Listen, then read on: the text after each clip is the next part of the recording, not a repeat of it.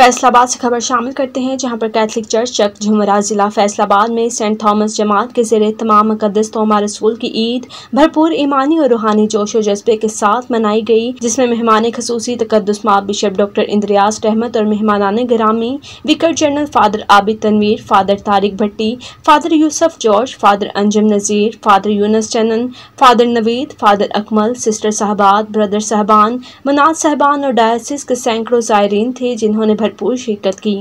इस मौका पर सेंट थॉमस जमात के director reverend father Tariq Bhatti और दीगर अहदेदारान की तरफ़ से मेहमान खसूसी और मेहमानान ग्रामी का वालहाना इस्तकबाल अकीदत का इजहार किया गया।